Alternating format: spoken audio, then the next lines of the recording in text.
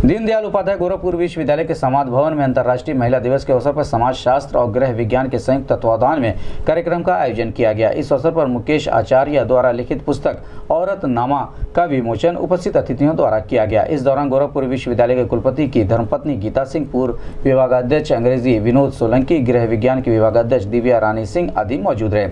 इस संबंध में गोरखपुर न्यूज़ संवाददाता से बात करते हुए छात्रा शिवांगी मिश्रा और दीनदयाल उपाध्याय गोरखपुर विश्वविद्यालय के समाज शास्त्र विभाग अध्यक्ष प्रोफेसर मानवीन सिंह ने कहा। संक्षेप में इसके बारे में बताऊँगा। 1790 के चित्र लगाया वो सारे वुमन संगठनों ने कि उनको वोट का डे मनाया गया। वो दिन था 28 मार्च। 1914 में ब्रिटेन में नेशनल डे मनाया गया और तभी वोटों का अधिकार इस तरीके से स्त्री विमर्श और नारीवाद के अलग अलग चरण हैं। उसके अलग अलग भिन्न भिन्न रूप हैं।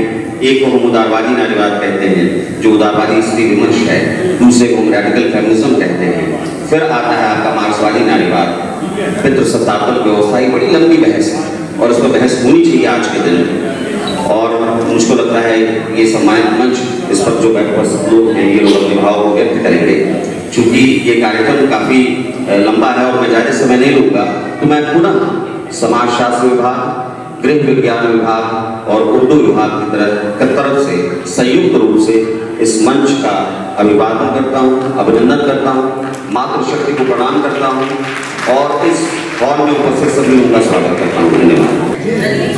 अरे आप आए अभी आ जाइए हम आएँगे। मिली चक्रवर्ती जी।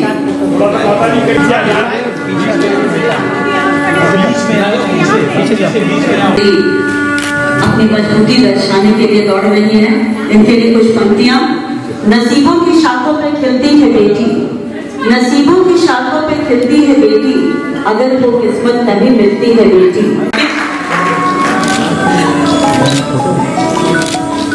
औरतनामा का लोकार्पण हर की कहानी औरत है। कायम खूने जिगर से जिसको देखा है औरतनामा लाया। वो औरतनामा आज आपके सभी के हाथ में।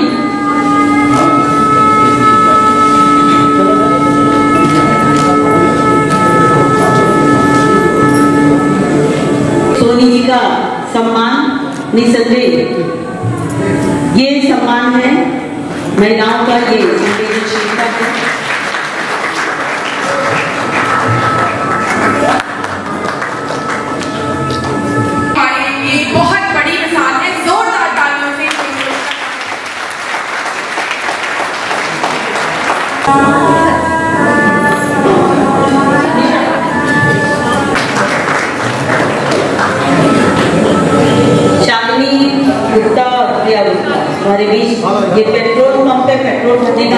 काम हैं।